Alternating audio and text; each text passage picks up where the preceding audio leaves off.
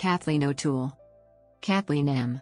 O'Toole, née Horton, born May 9, 1954, is an American law enforcement officer who served as chief of the Seattle Police Department, SPD, from June 23, 2014 to December 31, 2017. She was previously the first female commissioner of the Boston Police Department, when appointed by Mayor of Boston Thomas M. Menino in February 2004.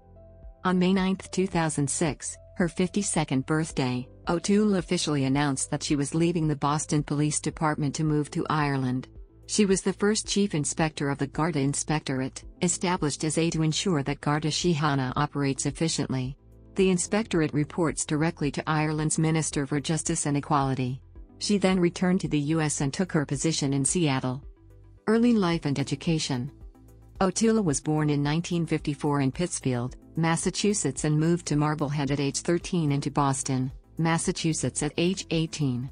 She resided in Boston from that time until she took a position in Ireland in 2006. O'Toole learned a Bachelor of Arts from Boston College in 1976 and a Juris Doctor from New England Law Boston with a JD in 1982. Career her career includes service as Lieutenant Colonel of Massachusetts State Police from 1992 to 1994. She was appointed to the cabinet position of Secretary, Executive Office of Public Safety in Massachusetts, by Governor William Weld in 1994 and served in this position until 1998. She then became a member of the Patten Commission headed by Lord Patten of Barnes which reformed policing in Northern Ireland and led to the formation of the Police Service of Northern Ireland. In May 2014, she was nominated by Mayor Ed Murray to become Seattle's first female chief of police. Shooting of Victoria Snellgrove.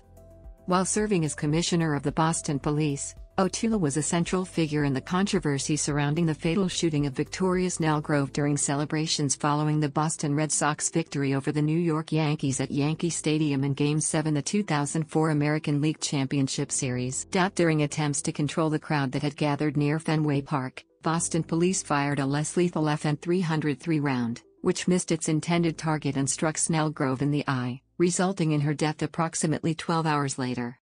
While Commissioner O'Toole demoted Superintendent James Claiborne, who was not in the vicinity of the shooting, and suspended two officers involved in the incident, no prosecution or dismissal was brought against any officer in the case. Investigations led by former U.S. Attorney Donald K. Stern and Suffolk County District Attorney Daniel F. Conley concluded that criminal charges would not be appropriate. Garda Inspectorate The three-member Garda Inspectorate examines operational, investigative, managerial and policing strategies to ensure that these meet best practice. O'Toole's role within the Garda was to clean up the then current scandalous conditions in the Gardaí. The Morris Tribunal pronounced that it was staggered by the level of indiscipline and insubordination in the force and the Irish government responded with a revised code of discipline. O'Toole served her full term of office and was asked to stay on until the new chief inspector could take up his position in July 2012. She remains a director of a company registered in Ireland. The company report gives her address as the flat above the offices of the Garda Inspectorate in Stephen's Green, Dublin.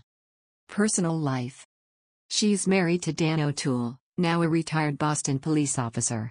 They have one daughter, Megan, who received her master's from National University of Ireland, Galway.